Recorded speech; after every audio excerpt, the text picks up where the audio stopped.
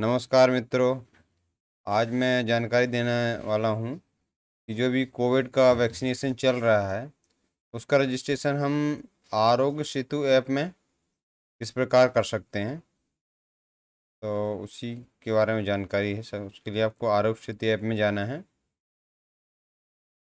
और जो वैक्सीनेशन का जो ऑप्शन दिख रहा है आपको, इस पर क्लिक करना है। उसके बाद एक मोबाइल नंबर इंटर करना है आपको, जो आपके पास होगा। मैं कर देता हूँ। उसके बाद वो मोबाइल नंबर पर एक ओटीपी आएगा। और उस ओटीपी को यहाँ इंटर करना है।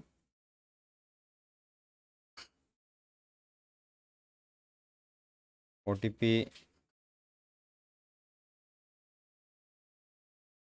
इंटर करने के बाद प्रोसेस टू वेरीफाई करना है।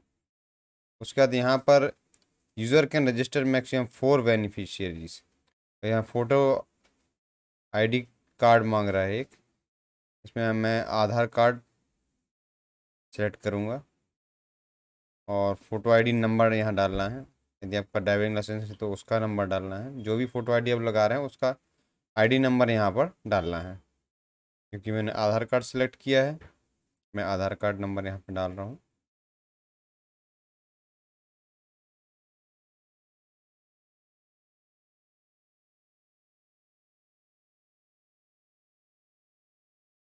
उसके यहाँ जेंडर सेलेक्ट करना है मेल और डेट ऑफ़ बर्थ का जो ईयर है, उसको यहाँ पे डालना है।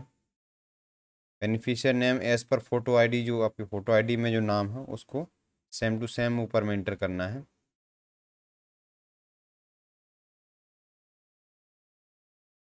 अभी देखिए मैंने 1980 डाला है तो इसमें 45 ईयर नहीं हो रहा है। मतलब ये आपका सबमिट वाला जो ऑप्शन है ये हाईलाइट नहीं होगा। क्योंकि अभी जो वैक्सीनेशन हो रहा है फोर्टी फाइव ईयर से जो प्लस हैं, उनका हो रहा है। अभी मैं यहाँ पे सेवेंटी फाइव कर रहा हूँ तो ये ओके, सबमिट हो गया।